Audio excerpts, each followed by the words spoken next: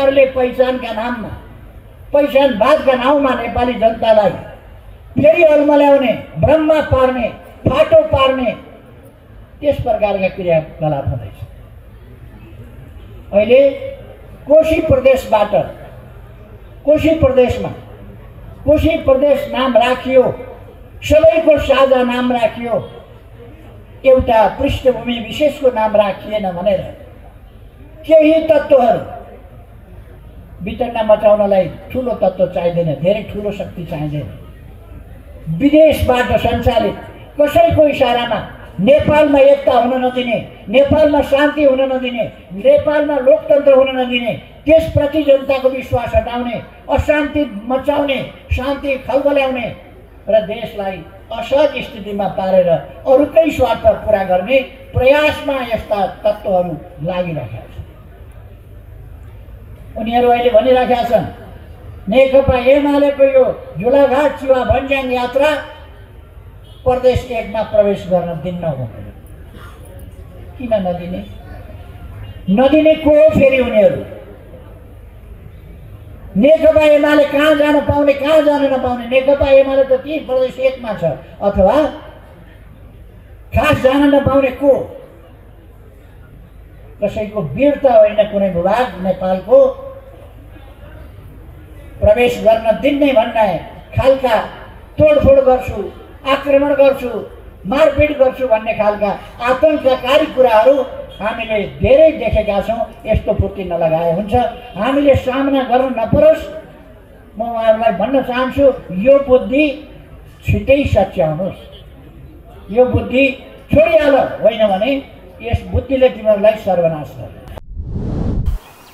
खास गरेर अस्तिको छलफलबाट अस्ति पनि हाम्रो जुन नेपाल सरकारका तर्फबाट यो एनसिएलको सेयरको खरिद बिक्रीका सम्बन्धमा जुन प्रश्न उठेको छ त्यो प्रश्नका विषयमा अध्ययन गरी प्रतिवेदन पेस गर्न उच्च स्तरीय समिति निर्माण गर्ने भन्ने क्याबिनेटले डिसिजन गरेको छ।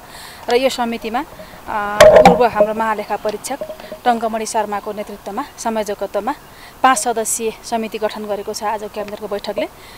सदस्यहरूमा अहिले नेपाल सरकारका सचिव फणिन्द्र गौतम सहसचिव बाबुराम भण्डारी सहसचिव हृदेश कुमार साक्य र आइक्यानका अध्यक्ष सुजन कुमार काफ्लेको सहितको पाँचजनाको समिति गठन गरेको छ र यसलाई तिस दिनको कार्यावधि दिएको छ।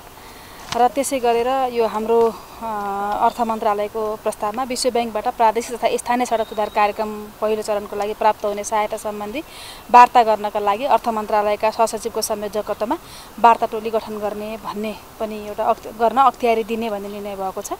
र यो खानेपानी मन्त्रालयको प्रस्तावमा खानेपानी तथा महसुल निर्धारण आयोगका अध्यक्ष पदमा रुद्रप्रसाद गौतमलाई र रिक्त रहेको यो पद थियो। रिक्त पदको अध्यक्ष पदमा रुद्रप्रसाद गौतम र सदस्य पदमा यशोदा कार्की र कुलभूषण शर्मालाई नियुक्त गर्ने निर्णय गरिएको छ त्यो संविधान बनिसकेपछि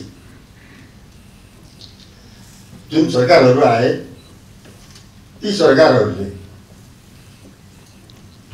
जनताका प्राप्यता जनतन्त्र र जनजीविकासँग सम्बन्धित समस्याको समाधानतिर ती गए जान्छन् सरकारमा पहिले पहिले त एकलौटी सरकार पनि बनाएका हुन् फेरि चाहिँ अब मिलिजुली सरकार पनि बनिरहेका छन् तर प्राप्यता जनतन्त्र र जनजीविका समस्याहरू समाधान हुन सकेन जनतामा कस्तो भने एउटा वितृष्णा।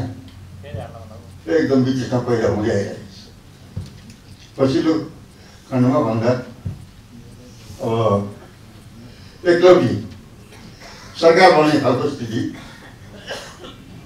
कसैको पनि नहुने। त्यो लक्षण देखियो।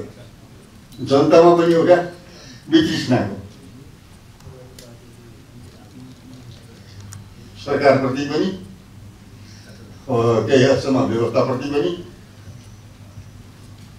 र अहिलेको सामाजिक संरचनामा पनि त्यो चिज पक्कै विभिन्न रूपमा अभिव्यक्त हुँदै आएको छ यो हामीलाई थाहा छ अनि अब जनतामा सबैमा अत्यधिक भइसकेको छ अब के गर्नु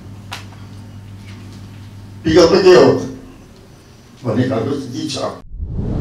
व्यापक परिवर्तनको लागि व्यापक जनदबाव सिर्जना गर्नको लागि आन्दोलन जनदबाबको बाटो लिने जनदबाब सिर्जना गर्ने भन्ने चाहिँ निर्णय गरेको छ।